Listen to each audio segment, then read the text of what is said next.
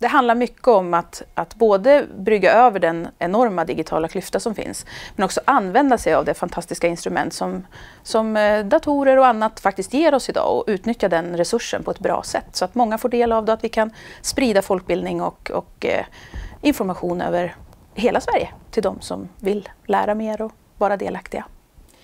Rent konkret, vad är det för möjligheter du ser med tekniken?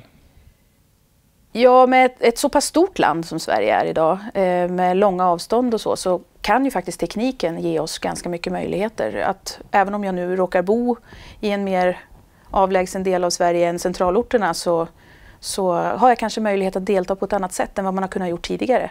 Telefonmöten är all ära, men eh, tekniken ger ju idag mycket andra möjligheter också därutöver. Från regional nivå, vad, kan, vad gör ni för att stötta utvecklingen? Vi ser till att våra folkhögskolor får de förutsättningar som de behöver. Jag tror att folkhögskolorna i vårt fall, som är de jag arbetar mest med, är ju de som själva vet vilka metoder som dyker upp och är ganska insatta i hur utvecklingen formar möjligheterna. Och det är klart att då gäller det att vi är med och stöttar det och är positiva till det och ser till att det finns resurser att faktiskt hänga på det tåget helt enkelt. Hur skulle du säga att läget ser ut idag? Det har jag nog lite svårt att avgöra. Eh, men eh, tekniken går ju framåt oerhört snabbt.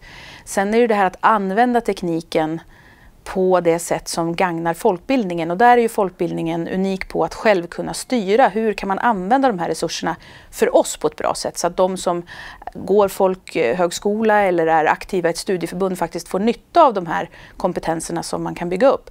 Men det är klart att det, det är otro, alltså teknikutvecklingen går ju så otroligt snabbt idag. Men det finns också väldigt många som står utanför och där tror jag att folkbildningen har en, en nyckelroll. Eh, under 2014 genomförde ju folkbildningen ett ganska omfattande rådslagsarbete där man tittar på de här frågorna. Eh, vad ser du när du ser den utredningen och det tankearbetet? Att man har varit väldigt seriös och att man har tittat väldigt djupt på de här frågorna, att man faktiskt har en tanke. Jag är helt övertygad om att folkbildningen, om man får rätt förutsättningar och rätt resurser, kommer att hitta eh, sätt att, att utveckla det här arbetet på ett bra sätt. Man är genuin och noggrann och ärlig med vad man ser för utmaningar och det, det tror jag gagnar utvecklingen.